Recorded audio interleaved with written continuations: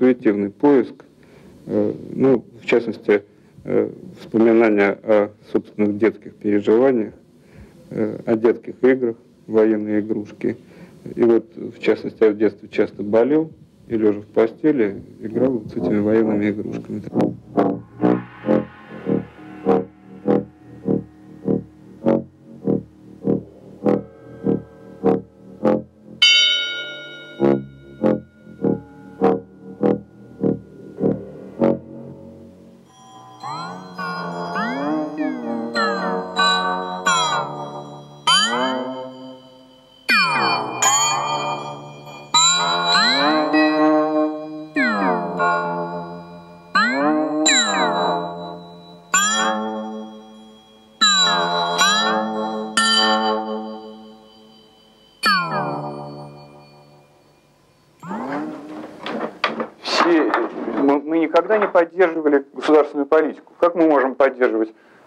Государственную культурную политику, если она всегда была направлена против нас? А сейчас ситуация складывается так, что мы оказываемся, так сказать, вот, так сказать, каким-то индикатором вот этой свободы художественной культуры, которая вдруг открылась в нашей прекрасной стране. И это, это очень странно. Я до сих пор не понимаю, как к этому относиться.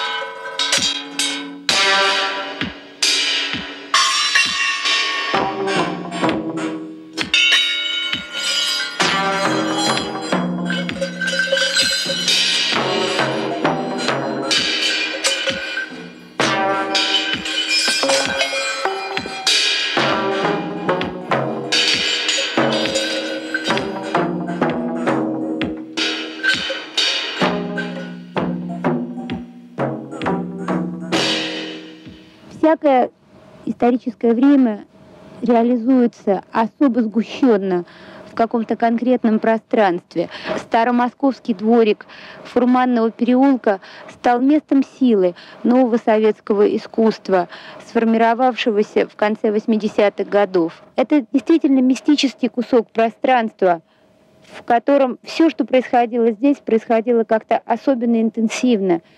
И сегодня мы действительно говорим о том, что Фурманный стал историей советского искусства.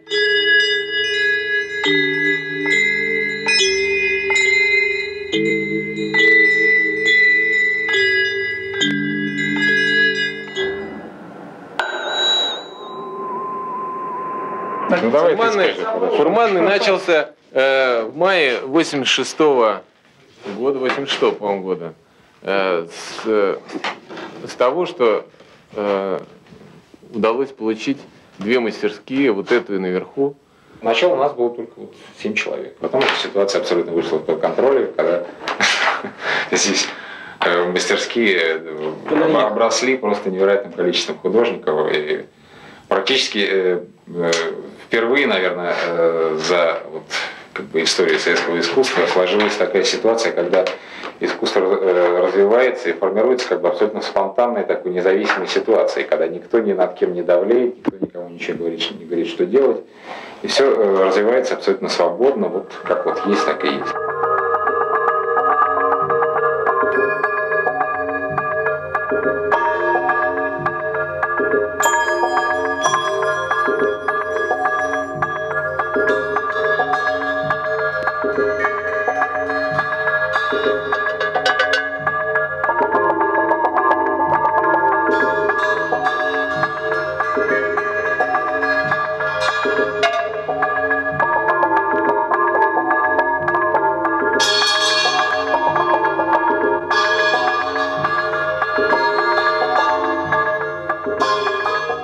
Если в Москве было такое понятие, как андеграунд, то в Киеве его физически не могло существовать. Ситуация в, э, на Украине, то есть в Киеве, э, не подразумевала хотя бы двух дверей. То есть э, так или иначе все должны были срастись с официальной культурой. То есть дверь была одна. Либо ты в нее входишь, так или иначе, сгорбившись с головой на 360 градусов, либо ты не существует вообще.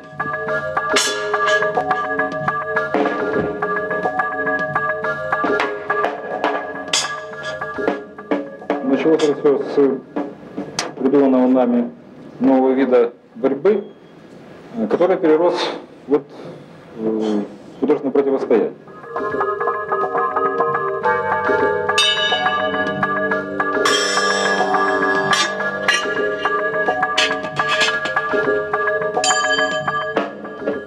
Мы противостоим э, всему, природе, ветру, социальной действительности, художественной жизни до нас, художественной ситуации после нас, художественной ситуации внутри нас самих. И мы получаем от этого удовольствие, возводя в художественную степень э, момент упора с, действительно с реальностью. И когда реальность э, и противодействие ей превращается в художественный объект.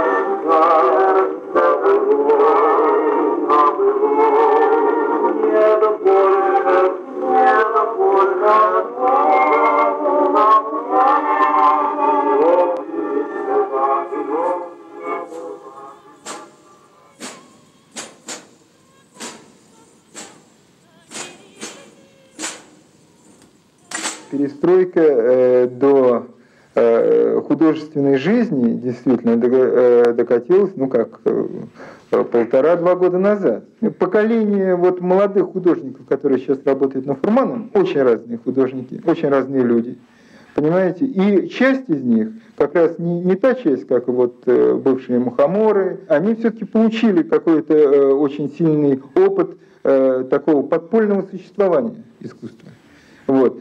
Но э, большая часть это совершеннейшая молодежь. Они только сейчас, когда им как бы разрешили так, если э, в 60-е, 70-е и начало 80-х годов таким искусством занимались, э, ну, по существу несколько человек, ну, примерно 20 человек. Потому что это было непрестижно, невыгодно и опасно. А, значит, вот со времен, так сказать, вот последние два года это стало престижно, выгодно и не опасно.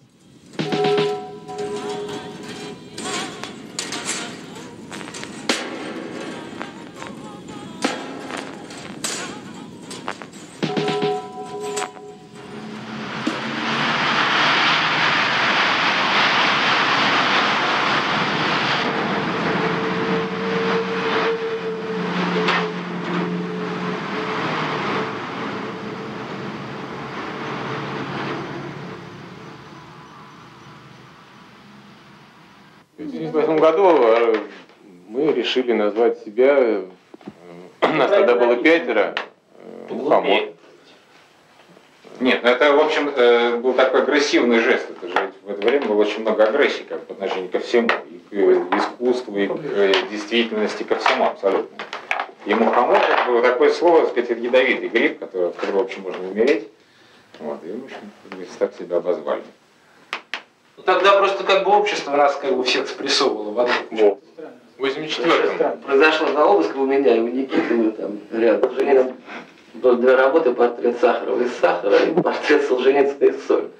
И они изъяли, даже не написав в протоколе, что они изъяли, поэтому и главное, что не осталось даже фотографий. Раньше хоть чувствовали, что в нашей стране хоть кому-то это... Это как сало, игра в салочки. Тебя догоняют, ты убегаешь. Тут никто не догоняет. Без КГБ как искусством не имеет смысла заниматься. Неинтересно совершенно. Это проклятый капитализм интересно. У них там просто деньги как бы всегда доминировали в этом вопросе, а у нас КГБ доминировало. Но сейчас как бы КГБ немножко ушло в сторонку, а деньги еще не заняли того, так сказать, Заняли, полагающего заняли, места. да, Не заняли, заняли. Еще не заняли. Нет, Ну, заняв это место, заняв это место, понятно, как. что Вот, а они вот тебе, а вот нечего у тебя, вот купить, твое например. произведение, ты что, не занял? Да,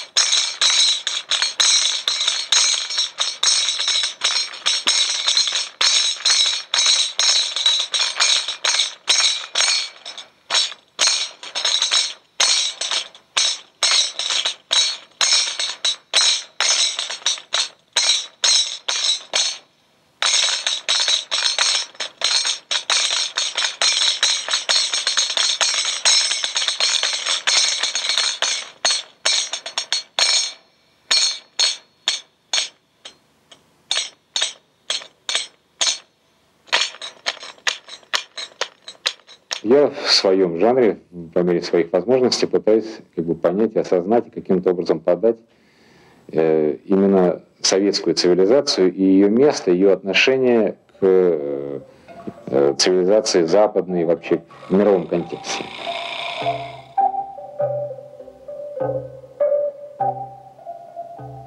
Товарищи, в июле 88 года я выдвинул себя первым независимым свободным кандидатом президент СССР. Я не нуждаюсь ни в какой группе поддержки, э, мне э, не нужна никакая партия, мне будет все равно, будут ли голосовать за или против, будет ли вообще голосование. Э, Мне все равно, как относитесь вы, серьезно или же смеетесь над этим поступком. Для меня важен сам факт такого выступления, Для меня важен сам поступок, э, поступок гражданина. Единственным конкурентом своим я считаю Михаила Сергеевича Горбачева, э, ибо он тоже такой же э, кандидат, как и я, ибо место президента СССР пока что не занято.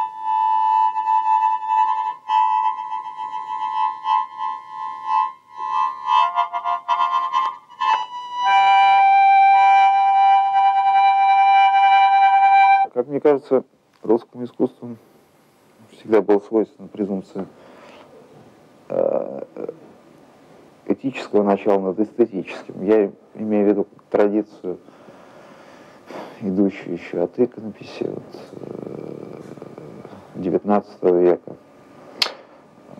Авангард тоже, конечно, э, русский. начала века. Вот. И мне кажется, основная э, как бы трагедия э, этого искусства это э, полное пренебрежение как бы эстетическим, пластическим э, началом.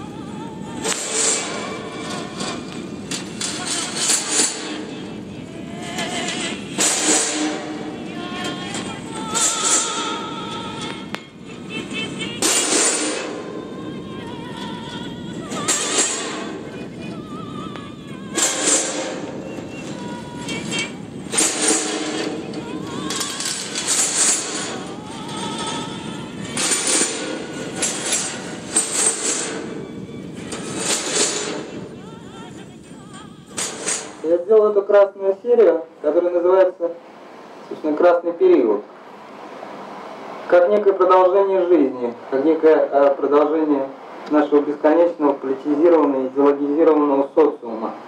И, собственно, эти люди, которые изображены здесь, это те, кто собирается как бы вылечиться от собственной болезни, от самих себя. Вылечиться через, в данном случае, скажем, от той живописи, которой они написаны. А написаны они как бы э, в стиле соцреализма.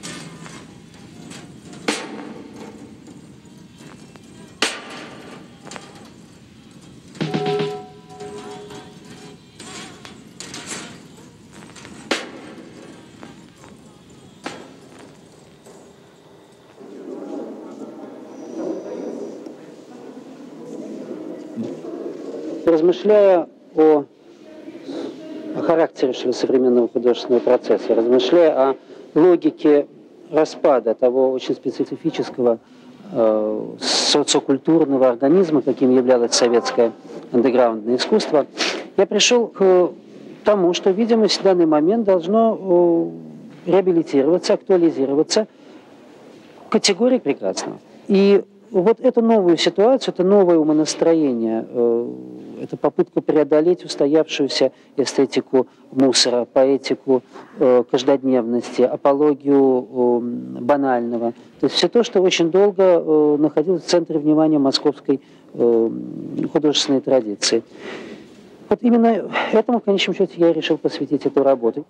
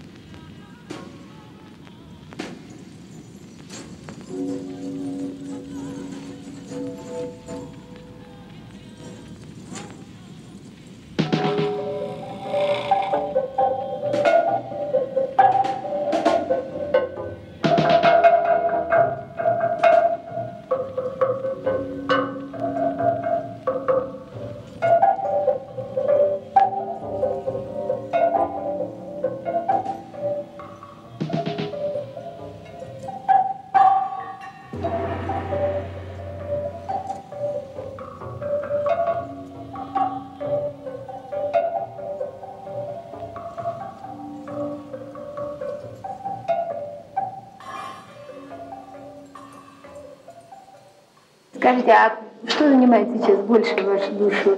Работа в галерее или вы... Ой, вы знаете, я все время мечусь как бы между мастерской и галереей. Я не знаю, что для меня важнее. Пока. То есть сама галерейная деятельность оказалась для вас тоже своего рода искусством? Да, это в принципе искусство, да. Там проекты организовывать, контакты с людьми, общение. Это такое настоящее искусство. А, да. а вот это как бы, ну, я считаю, что вообще как бы вот искусство и галерейная система, и вот этот арт-рынок, это, в принципе, это все основано, ну, как бы люди хотят общаться. Это как бы общение, на самом деле. Это все дело сделано, мне так кажется, ради общения. То есть все это? Да. То есть фактически ради сегодняшнего верниса? Да. Да. Вы довольны? Да.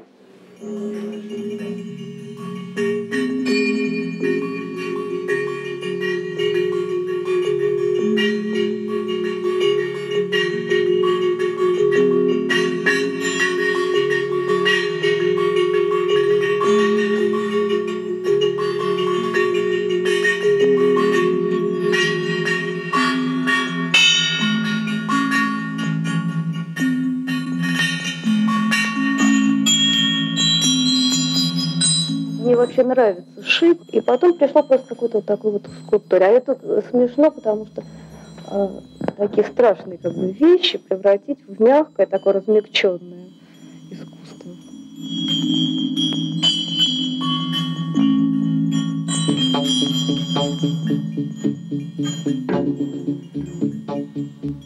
Я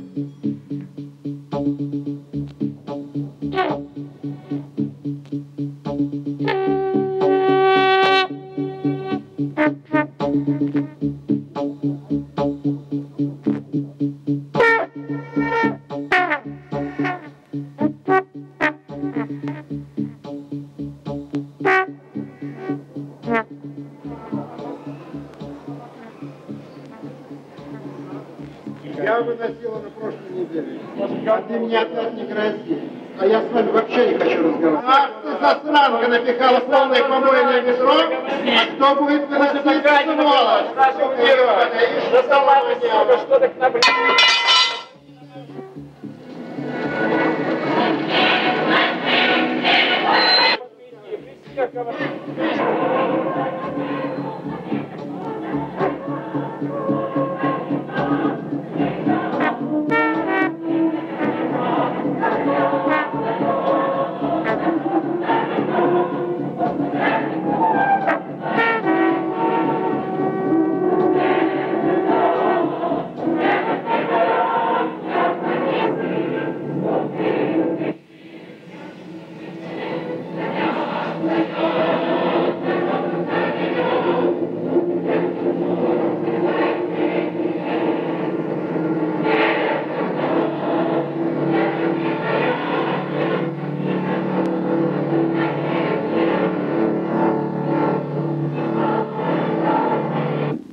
Встреча в Москве была года, наверное, четыре назад.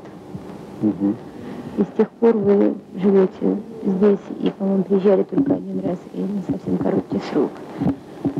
Чем отличается для вас ситуация сейчас, когда вы живете и работаете практически на Западе от того, как вы жили в Москве? Ну, она в сущности очень простая, потому что как бы э, есть э, э предложение всевозможных разных выставок, и э, я просто делаю эти выставки, реализую эти э, проекты, которые у меня были, и они, в зависимости от э, пространства. Стала ли ваша жизнь от, вот в этих новых условиях более полной и, может быть, более интенсивной? Я бы сказал так, что она стала в том смысле, что ее совершенно не стало никаким образом. То есть я в детстве, опять-таки, в интернате, когда я жил в школе, я помню одно только ощущение, что когда я рисовал и э, рисовал что-то, то, что мне приходило воображение, я жил подлинной жизнью. А все, что окружало меня в интернате, этот голод, это избивание э, антисемитское или просто нормальное избиение, вообще все это воспринималось как жизнь. Это, жизнь – это то, что по возможности нужно как бы сократить, преодолеть, и, если можно, вычеркнуть. А зона рисования, вот присутствие в этой собственной фантазии, которую нужно как можно больше заниматься и увеличивать. И таким образом у меня заведомо было сложилось уже понимание э, существования как увеличение вот этой меры фантазии за счет сокращения жизни. И сейчас, в сущности, достигнуто почти полное. Я совершенно не живу. Я, у меня нет ничего. У меня, нет, у меня есть пара, я не знаю чего, ботинок или там, рубашек. Но у меня нет ничего. Я счастлив, потому что я ничем не связан, никакой житейской ситуации, мне ничего не надо. И с другой стороны, я полностью включен как машинист сказать, вот, выставочная деятельность, и я переползаю с выставки на выставку. То есть вся моя голова и каждый день забит только реализацией. То есть я живу в мире своей фантазии и совершенно выключен из мира реальности. Это потому еще, что когда ты, я живу за границей все время, это особенно способствует жизни фантазии, потому что ты не понимаешь э, ни ментальность, ни тех стран, где ты перемещаешься, ты не прикреплен ни к одной территории. Все они для тебя одинаково, э, одинаково экзотичные, одинаково посторонние. И таким образом вся земная жизнь, как сказать, вот постоянная жизнь превращена в некоторые такой случайные э, как на улице, переход из одной стороны улицы в другую. Вот так. Ну, можете ли сказать, что вы счастливы? Да, конечно, вполне, да, да. Я счастлив, да, потому что я не живу. Самое страшное – это жить на свете.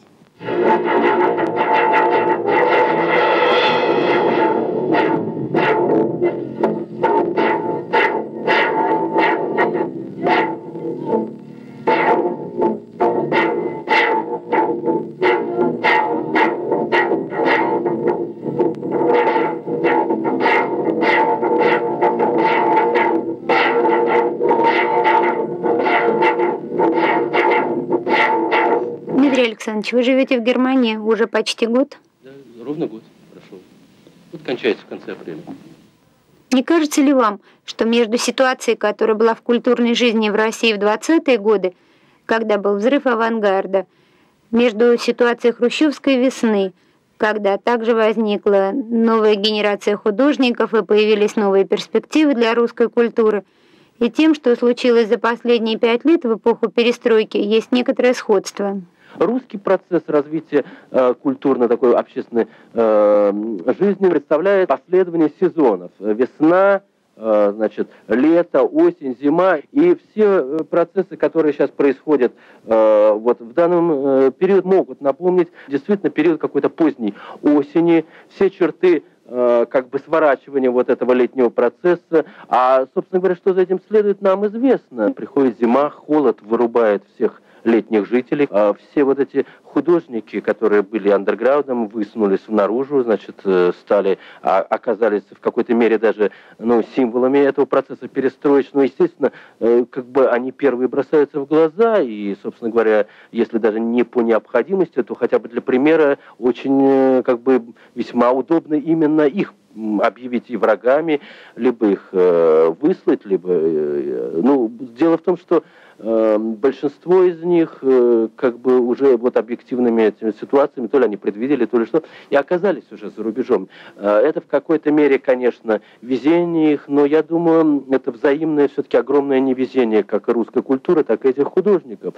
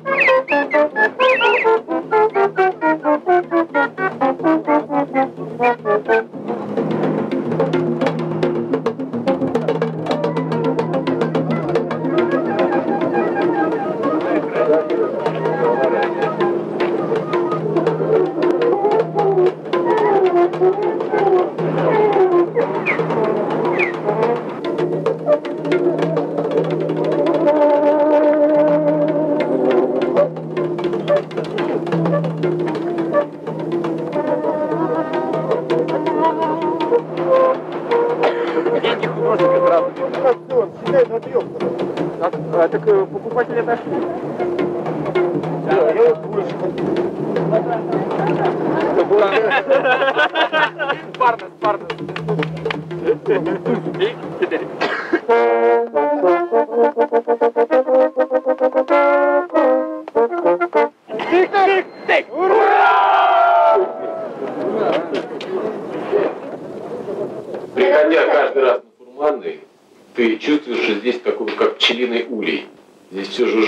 Кипит, поле сейчас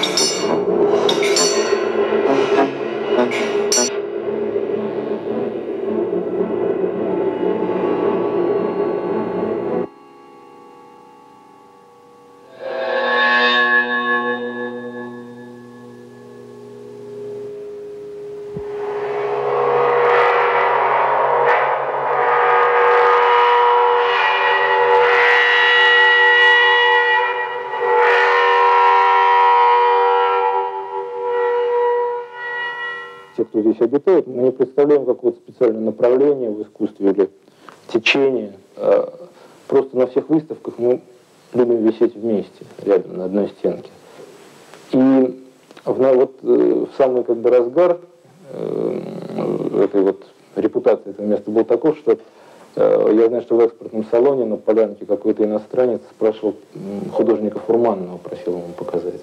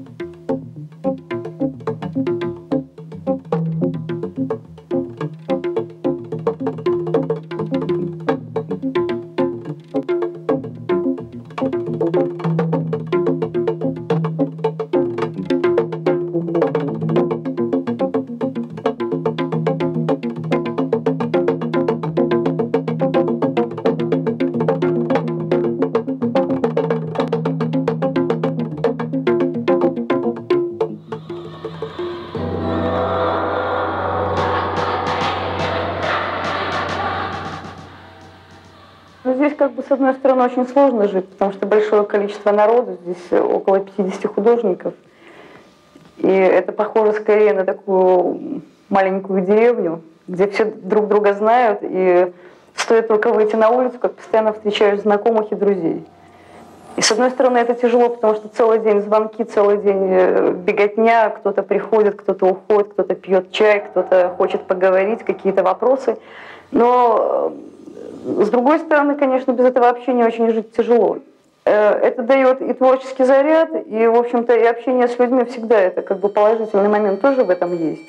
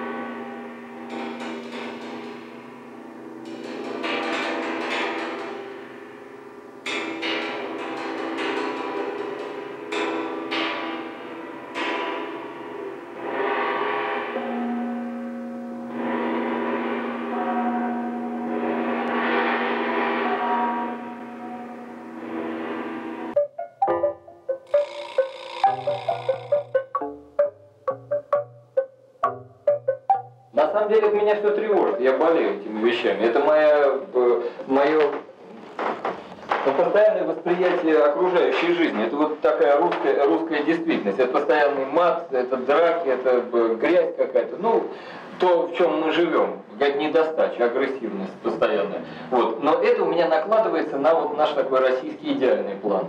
Вот я как русский человек, я живу этими просторами, какими-то избушками, я очень много по стране ездил, пока в молодежном объединении тусовался. Вот. И, в общем, это искренне люблю на самом-то деле.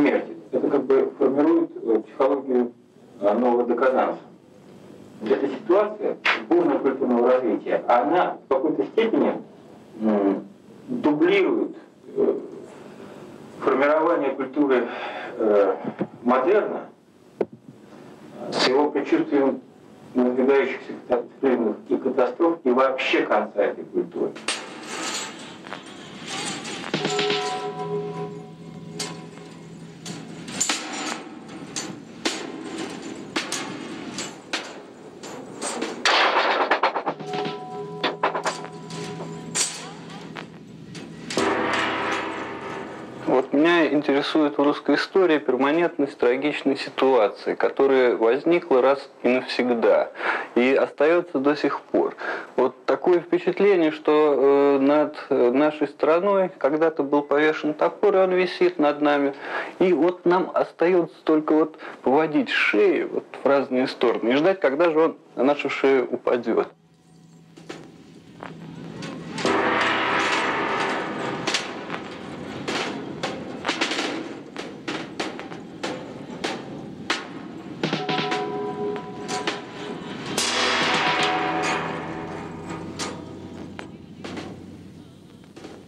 От нас долгое время все ждали иронии.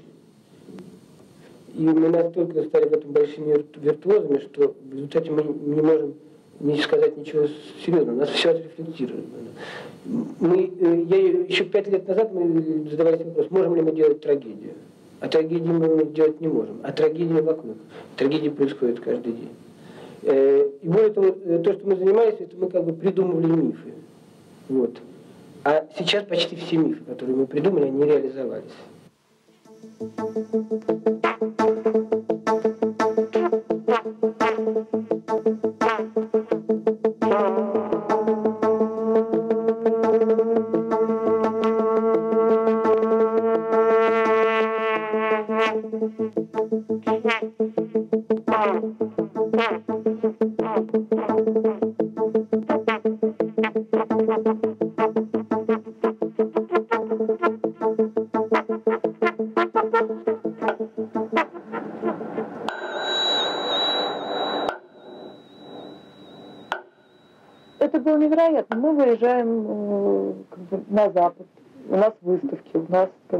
Ребеночек намечается, все замечательно, все хорошо. Мы думаем о том, как мы будем там привозить какие-то подарки, каталоги.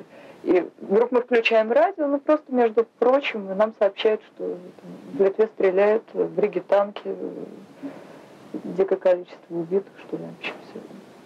На самом деле поменялось очень то, чего мы ждали. И вдруг оказалось, что мы к этому абсолютно не готовы. То есть ехать обратно страшно, но вроде нужно. И мы оказываемся отрезанными от, э, от всего, что мы там оставили. Это было в январе. Потом это ушло потихонечку. Э, русские считали себя самыми лучшими на свете, а сейчас считают себя самыми худшими на свете. Это страшно, потому что художнику необходима великая страна. Если Россия осознает себя провинцией, это будет конец для русского искусства.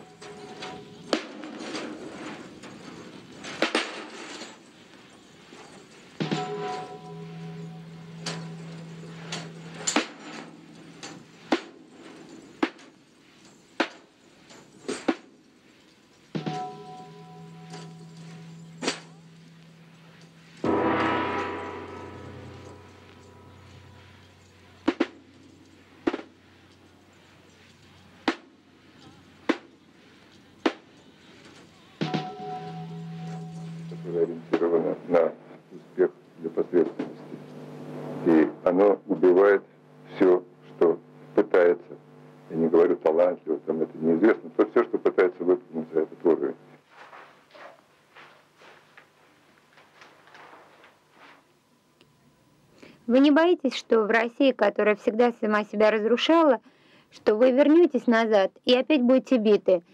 Не за картины, не за ваше искусство, а просто за то, что высунулись. Ведь не любят в России высовывающихся. Правильно, тогда будут бить не только художников, многих, всех, кто высунулся. Сейчас много народу высунулось, э, всем голов отрывают, тем, кто останется в Союзе. Это может случиться. Это как раз одна из таких возможных перспектив.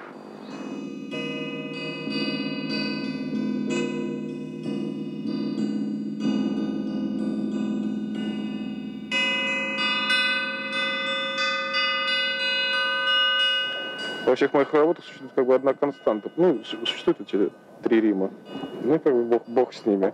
Но кроме них существует проблема четвертого Рима, вот этого как бы, небесного Иерусалима. В принципе, такое ностальгическое желание постоянно как бы вот достигнуть вот этого предела, вот этого четвертого Рима. По-английски пословице сказать, мой дом моя крепость, а мой дом это просто мое сознание.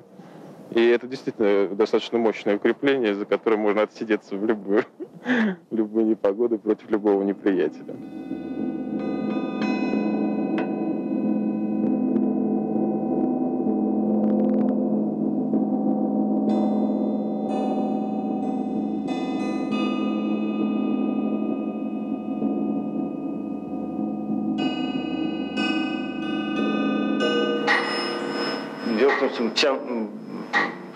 Большая часть моей сознательной жизни прошла в России.